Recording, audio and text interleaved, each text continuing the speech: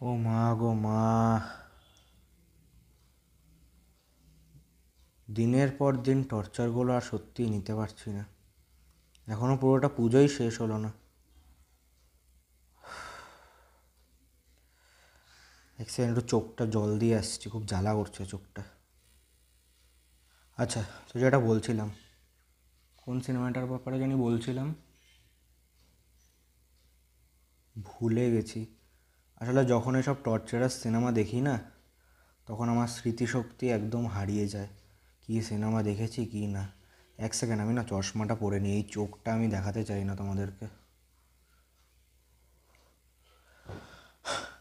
আমার এখন রীতিমতন চোখ থেকে পাইলস হচ্ছে। রীতিমতন। এত জঘন্য থার্ড ক্লাস ডিজাস্টার একটা সিনেমা বিকাশ বাইলের মতন ডাইরেক্টর বানিয়েছে তার মধ্যে কি নাম গণপত একটা ভগবানের নাম জড়িয়ে রয়েছে গণেশ ঠাকুর গণপত আর হিরোর এন্ট্রি সিনে কি দেখাচ্ছে হিরো মেয়েদের সাথে শুয়ে রয়েছে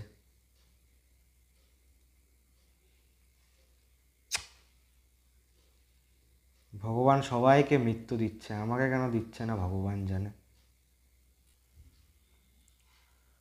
पैसा बर्बाद পেসা বরবাদ বিকাশ ব্যালের মতন একটা ডাইরেক্টর যে সুপার থার্টি কুইনের মতন সিনেমা বানিয়েছে সে গণপতের মতন সিনেমা বানাচ্ছে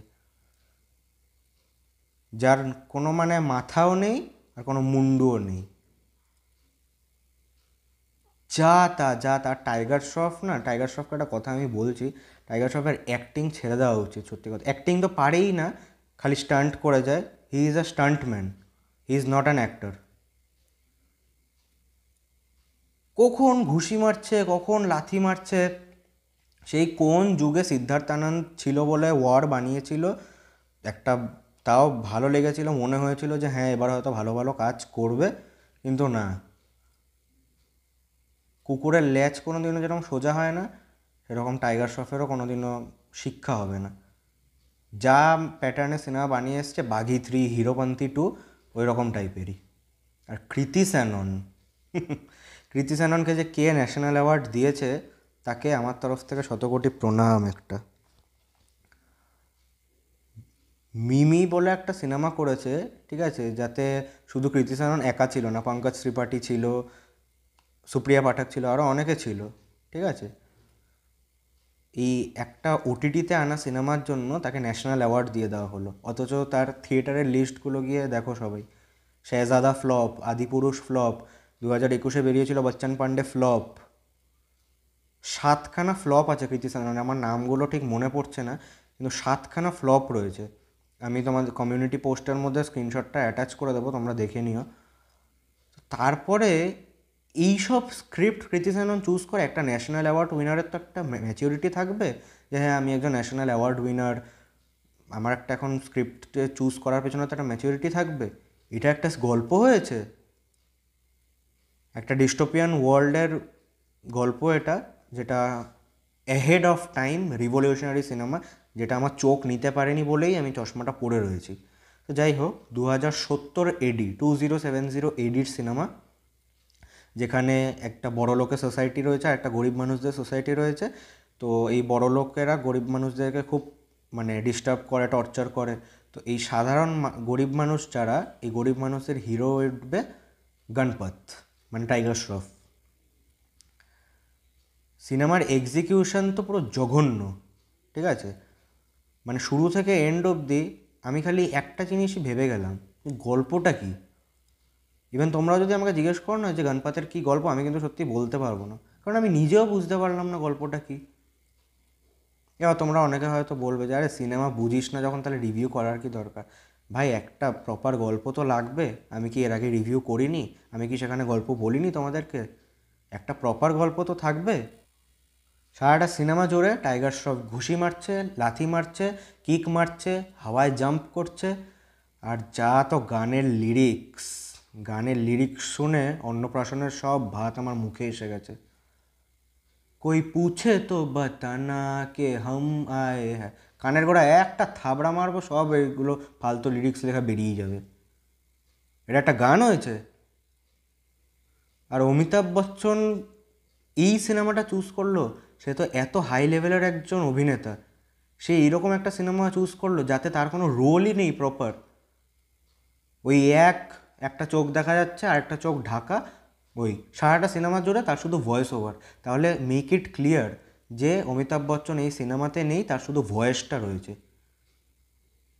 অমিতাভ বচ্চনের পাঁচ থেকে সাত মিনিটের মতন স্ক্রিন টাইম রয়েছে। একটা এত বড় অভিনেতার পাঁচ থেকে সাত মিনিটের স্ক্রিন টাইম সারাটা সিনেমা জুড়ে টাইগার শ্রফের এই ফালতু অ্যাকশনগুলো আর কৃতি সানন্ত মানে কেন যে এই সিনেমাটার মধ্যে ছিল, ভগবান জানে। কৃতি সানন বোধহয় শুধু টাইগার শ্রফে কিস করার জন্য এখানটাতে ছিল। অ্যাকশন সিকোয়েন্স কৃতি সাননকে যা দিয়েছে, একটুও ভালো লাগছে না কৃতি সাননকে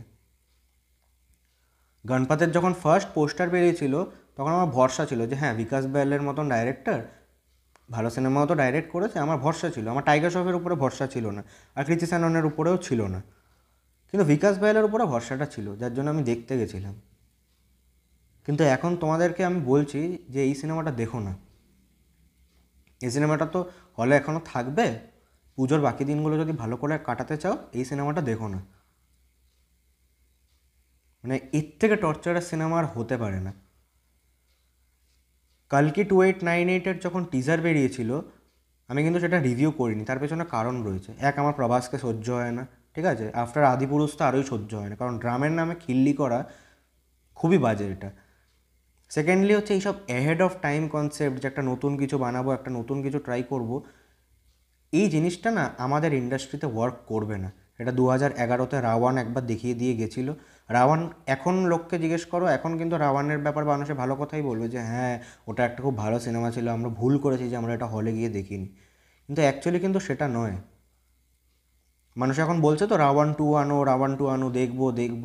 যখন রাওয়ান টু আসবে, তখন বলবে যে, ধুর, এটা একটা সিনেমা হলো নাকি? এই সব আমাদের জন্য নয়।